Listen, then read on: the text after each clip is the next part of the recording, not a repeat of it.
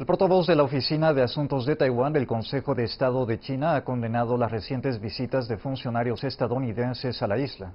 Ma Xiaoquan considera que los encuentros violan el principio de una sola China y las provisiones recogidas en los tres comunicados conjuntos entre China y Estados Unidos. Añade que el Partido Progresista Democrático de la región de Taiwán debería dejar de forjar lazos con Estados Unidos y dañar los intereses de los residentes de la región. Los comentarios se producen a raíz de la visita la semana pasada a la región de Taiwán del subsecretario de Estado estadounidense Keith Crutch. El secretario de Salud estadounidense Alex Azar también visitó la región en agosto.